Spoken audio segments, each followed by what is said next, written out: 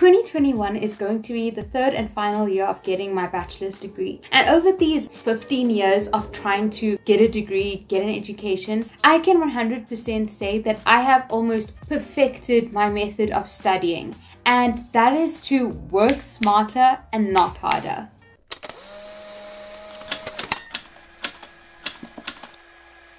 Now, these tips are going to work whether you are in university or college. Some might apply to just university since that is what I've been doing for like the last three years and where I really did narrow down how to study my best. So the first step which I tell everyone and if you watch any of my other study videos you know this is my biggest tip and that is to always start from the beginning. Now what do I mean by that?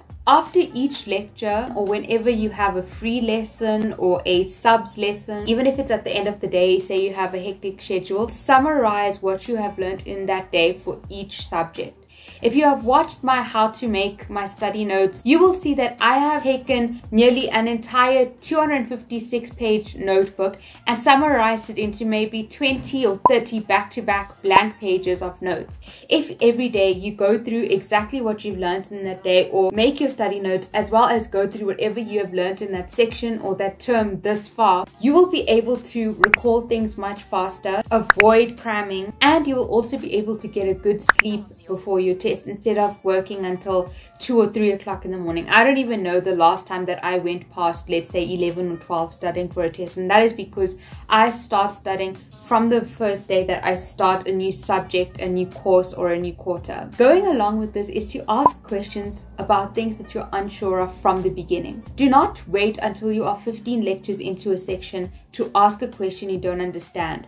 Because there's a high possibility that whatever you learn in your first few lessons is what you are going to build on throughout your course or throughout the quarter. So rather fix whatever misconceptions you have in that time that you learn it. Ask your teacher go afterwards if you're really shy to ask questions in class or you know we have the internet now research and try and understand something that you don't understand as soon as you start something rather than waiting 15,000 years later to ask a question and finally understand it.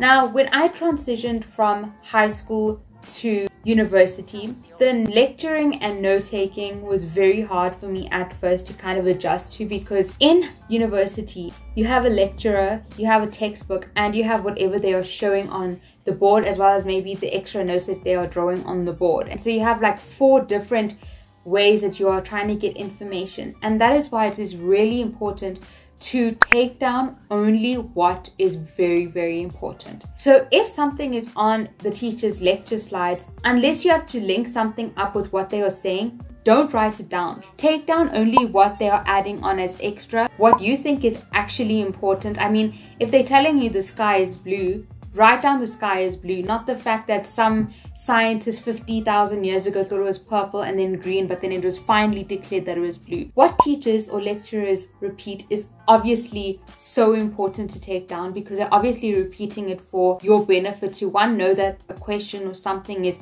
going to be asked, or that it's a core concept to understand in the course, or that it is something that must be drilled into your head. The other thing is to learn to just do diagrams in shorthand. Writing things in full hand or writing an entire paragraph, whereas you can rather make a flow diagram, will take up so much unnecessary time and space into writing down things, and you will end up missing a lot of the things that come forth. So that's why, in a lot of both my lecture notes and my study notes, I have condensed down things into shorthand. It sounds really tedious to do, but it will help in the longer run to keep your mind rather engaged with the lecturer rather than trying to just rush and write down everything. The third thing mainly applies to all my university students out there, and that is if a lecturer does not work for you, do not waste your time. Now, I learned this in first year when I had possibly one of the worst teachers and lecturers that I've ever had in my schooling career, just because this person could not dumb it down for a lack of better words. Rather, they taught it to us as if we already knew what was happening. And that's a really hard way to learn something that's fairly new, to think that you just understand it and now they're using all these fancy words when actually it doesn't make any sense to you. I think our class went from being like a thousand to like 200 students. And I was like, how can people be so disrespectful and not go to the lecture. But I realized in the end that I didn't learn anything in the four months that she was teaching us. And I'm going to be completely transparent. I was sitting to a near fail for my first year of algebra, and that is because I was still stuck in that high school mindset that if you are in class, you are in class. You have to be present all the time. However, my friends and I decided, you know what, this lady seriously is not working for us. She's wasting our time and we're not understanding anything. So instead of going to our algebra lesson, we used to go to our maths bowling and we would sit around a table and we would go through the textbook together for one.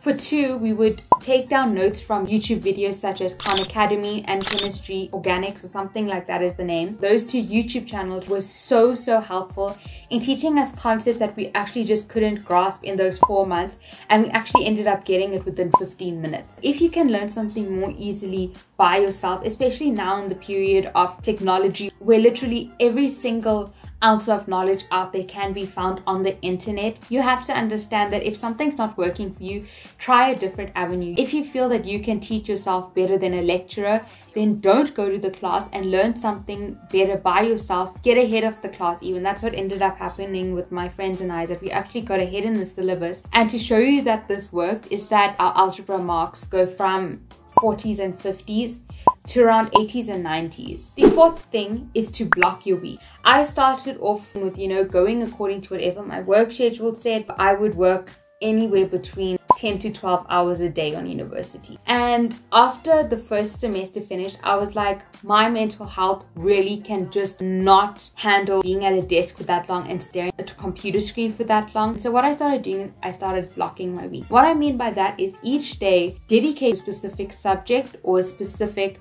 task. Instead of doing all three subjects every single day of the week, what I did is I took my five day work or university week and I changed it into a three day working week.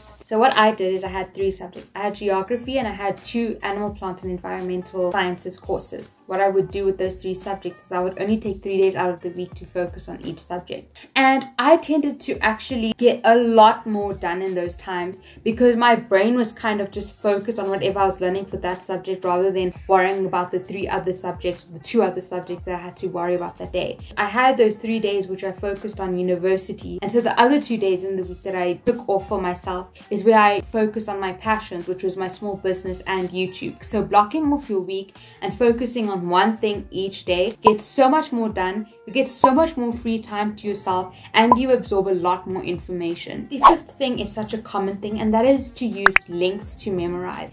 This means using mnemonics or coined phrases, acronyms, abbreviations, or even what sometimes I do if I can't come up with what I've just mentioned is in my notes I will do my highlighting in whatever color I have chosen to do for those notes. And within each two or three points I would highlight one word in a yellow to stand out. And what happened with me after going through my notes over and over again today is I would associate an entire paragraph with that one word. This really helped me in matric to memorize all the history essays, which were between a thousand and a thousand five hundred words, because I would remember in, let's say, a paragraph, four or five words, and I would then recollect all of the things that I said relating to that word. Another way to do this is to visualize things or relate it to things that you know. So for instance, I'm going to use again the whole thing with Rosa Parks. If you forget where her name comes in, you think, okay, Rosa Parks, okay, parks. What parks? Types of vehicles. Okay, there's cars, there's buses. Okay, a bus. Then you think, oh, Rosa Park was kicked off a bus, which usually parks, and that's what caused the Montgomery bus boycott. And the sixth tip is something that everyone says from teachers to parents to any other study YouTuber is you have to do active studying. It means making sure that you understand what you have taken or learned and making sure that you can apply it. And an amazing way to do this is doing past tests, doing exercises, teaching it to someone that really has no idea what you're thinking about. So I am lucky in my case that I have a small sister so I can ask her to come and sit and let me explain something to her. And then I ask her to tell me what she got from what I taught. And if it makes an association or if it goes along with what I've taught, then I know that I've learned the concept well enough to teach someone, which means you understand it enough to grasp it and give it to someone else. I did this a lot, especially last year when I did stats. I used up two whole books of just doing practice tests, practice exercise, and, and that was how I was able to memorize codes. This helps to make sure that you're not taking 30 days to understand one paragraph and trying to memorize it off by heart, but rather taking two or three hours in a day to do an exercise and make sure that you can apply what you've learned and knowing that it's kind of embedded in your brain.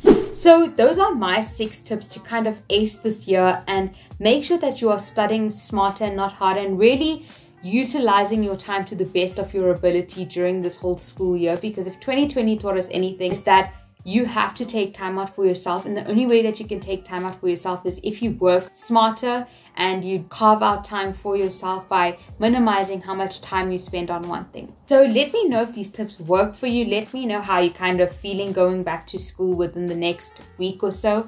And so, yeah, I hope that you guys have a wonderful week filled with lots of love happiness, light, positivity, and hopefully a very, very good and successful school year ahead. Love you guys. Bye. It's been a long time.